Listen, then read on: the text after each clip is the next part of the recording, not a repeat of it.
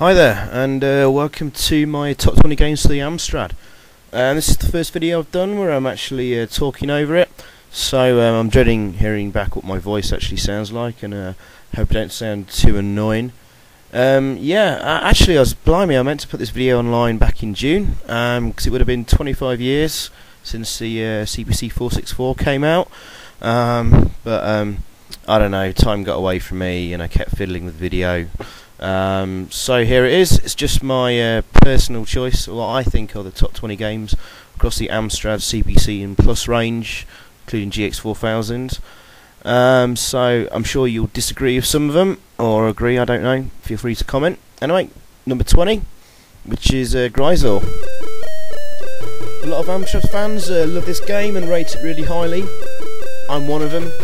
Um, but it's only at number 20 in my list because um, I think a few of you will probably mind that it only has a flip screen scrolling and it doesn't uh, properly scroll, which it loses a lot of marks for, as it does for uh, not having sound effects with the music, and I think it's missing a level. Um, but don't let that put you off. As you can see, it's got uh, gorgeous graphics and colours, really, really smooth and fluid animation, and most importantly, really, really tight controls.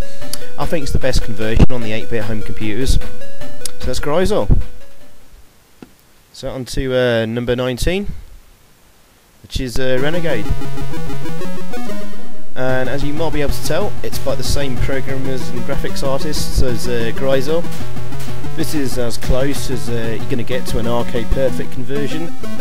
And um, what I love about this game, uh, just like the arcade original, um, you've really got to plan your moves because these guys are going to gang up on you, and they're not just going to stand there and uh, wait for you to punch them in the face. I chose this over its excellent uh, sequel, Target Renegade, uh, purely because I think it's just a lot more fun and it's got that real sort of uh, pick up and play value to it that I still keep coming back to uh, every now and again. So yeah, on to uh, number 18, which is uh, Head Over Heels. And yeah, I'm going to have to be honest, um, I've never really given this game much time of day, I haven't really played it that much. But um, if I didn't put it in the list, um, I think I'd be probably lynched or something. Because uh, a lot of people would probably put this as uh, one of the best ever games on the Amstrad. So at some point, I'm really going to have to sit down and play this properly. But it's a real uh, massive, immersive sort of uh, puzzle, explore them up, collect them up type thing.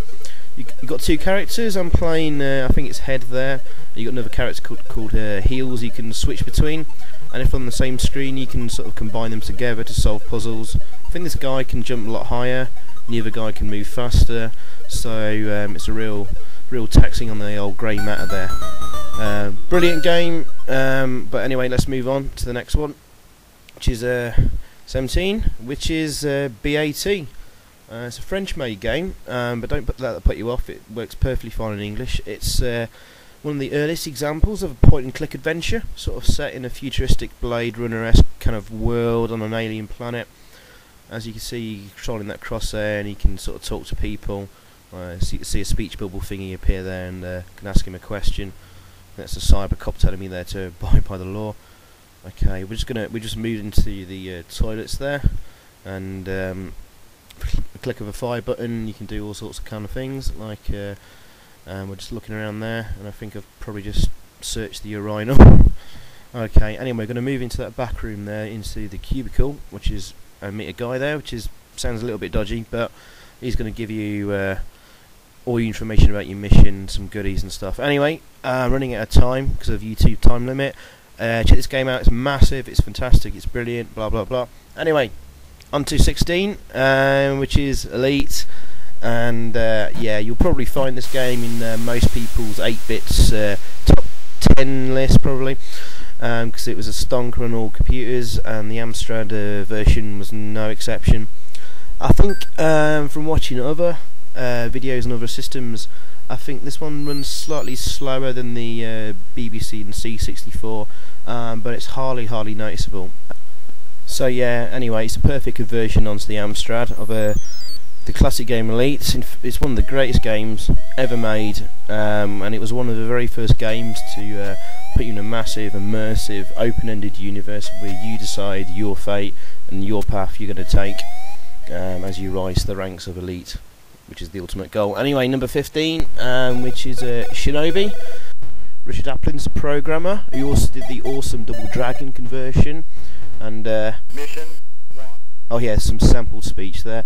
Um, so Richard Aplin's a real uh, hero to Amstrad fans, um, especially this is why I like the guy. Uh, I mean, he's gone the extra mile to put sampled speech in there, but um, as you can see, it really shows off the Amstrad. It can do stuff like really smooth, multi-directional scrolling with music, sound effects, colourful graphics. Just one of the best examples on how to do an arcade conversion and still keep it fun. Anyway, um, next on the list is number 14, Batman the Movie.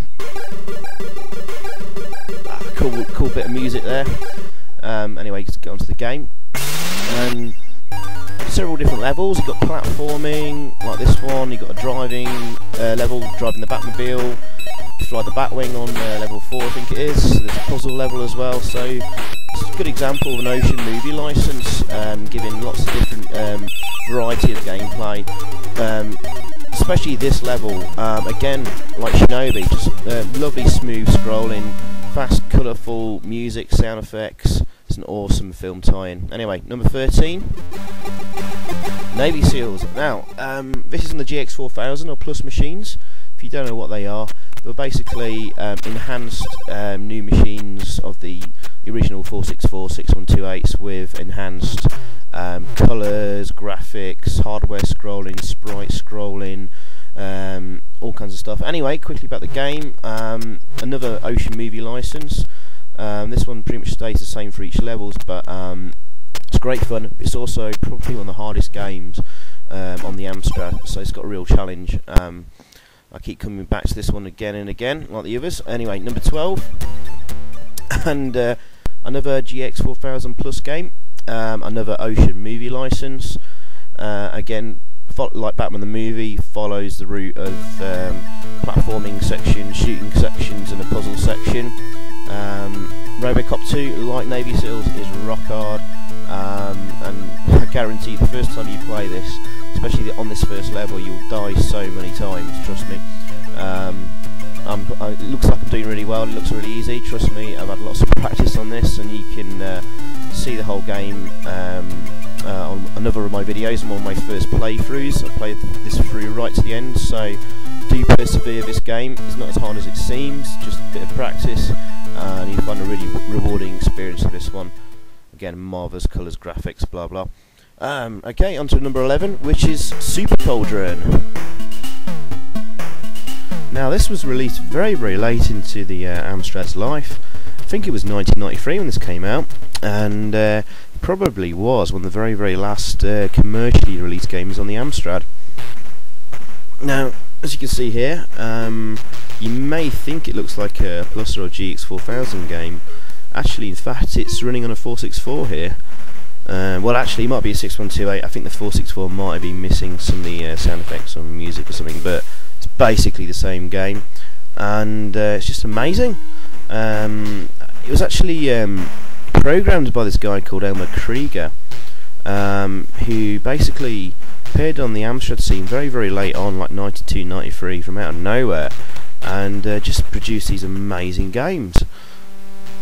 No, sorry, excuse the uh, noise in the background there. There's some problem with the game being emulated. That doesn't appear in the game. But anyway, Elmar Krieger, um, he really, really pushed the Amstrad to the utter limits, and here's a, just a brilliant example of it. From machine released in 1984, just look at all the effects there, and what he managed to achieve with it. Anyway, I'm running very, very short of time, because I'm having to keep these uh, quite short to get in with uh, YouTube's uh, time limit to get the top 10 in one session. Um, so this is number 10, which is a uh, Turrican, and uh, I've chosen Turrican over Turrican 2. Um, uh, people think Turrican 2's uh, the better game, but for me, um, I got annoyed by the uh, the main sprite being too large, and when he runs off the side of the screen, he runs off too close to it. So you're running, sometimes running straight into a bad guy coming the opposite direction, and it's just too easy to die and kill yourself. Um, to me, they're good as each other, but I prefer this one slightly because of those reasons. But um, anyway, Turrican, brilliant game, and it's a brilliant conversion from the uh, um, C64 original. It's not quite as fast, but it's still speedy, and I think it's got much better use of uh, colours and much better graphics. And uh, apologies for the audio going out of sync. Anyway, see you on the next part, which is uh, games 9 to number 1.